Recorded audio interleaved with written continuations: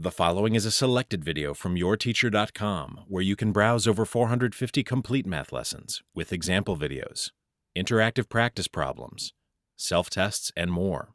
Try a complete lesson today at yourteacher.com. Into a headwind, the plane flew 2,000 miles in five hours. With a tailwind, the return trip took four hours. Find the speed of the plane in still air and the speed of the wind. Let's start things off by setting up a chart based on the formula rate times time equals distance for the two trips that our plane took, into a headwind and with a tailwind.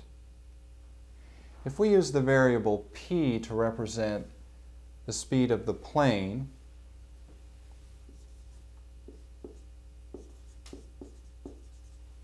and W to represent the speed of the wind.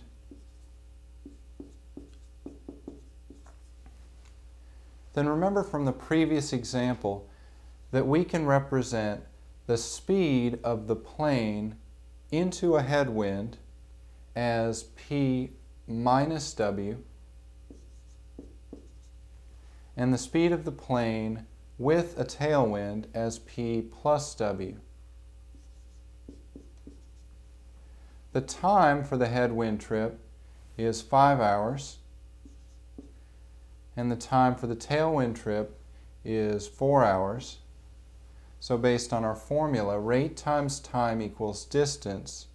The distance for our headwind trip is 5 times parentheses p minus w, and the distance for our tailwind trip is 4 times parentheses p plus w.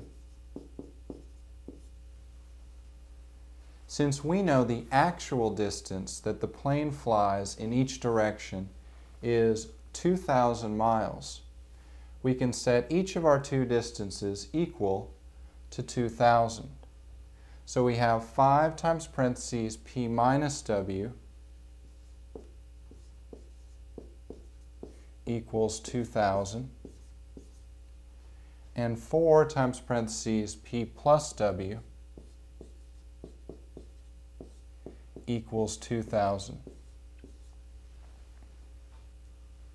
As our next step, I would divide both sides of the top equation by 5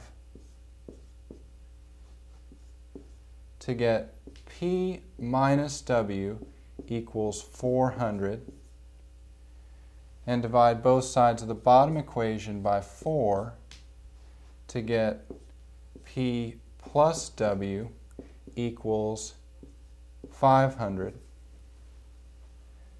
Now our system of equations is set up in a familiar way, and we can use addition to solve it.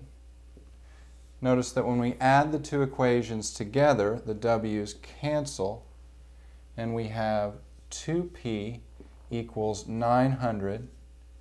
Divide both sides by 2, and p equals 450. To find W, plug 450 back in for P in either equation, and you'll find that W equals 50. So the speed of the plane is 450 miles per hour, and the speed of the wind is 50 miles per hour.